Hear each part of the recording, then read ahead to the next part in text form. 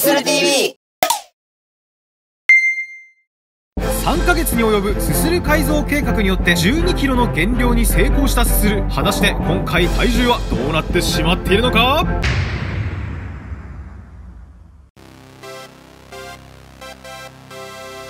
というわけで本日も元気に体重測定していきましょう。はい、どうもおはようございます。おはようございます、はい、今日は自信はありますか？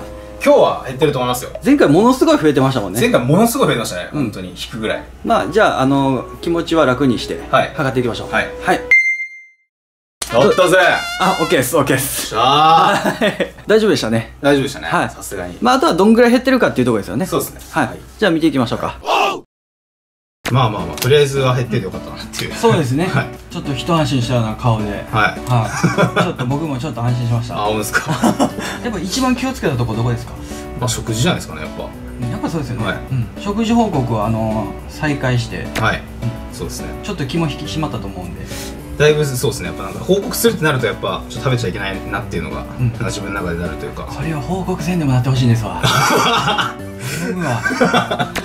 いやなんかできてたはずなんですけどね。結構期間空いたから報告しない期間です。そうですね。今回はとりあえず減らせたんでよかったですけど、はい。この調子でもっと落とさないといけないんですよね。はい。うん。まだまだ改善点あるので、まあまあそうですね。はい、食事に関しては、はまあ、ラーメンはもちろん食べてもらってい他のとこを見てるので、い。はい。ラーメンは1日何杯食べようが大丈夫なんで、はいそこはもうスルーします。そこは そこはもう。そこはもうスルーします。もうするのがよっぽど詳しいと思うので。あまあまあ。はい食べてるだけなんだよ あそう。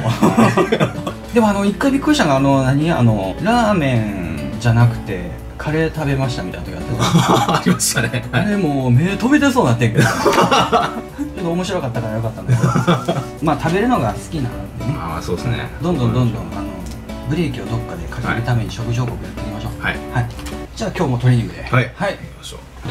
お疲れ。今すぐあな。たに会いに行くから待ってて。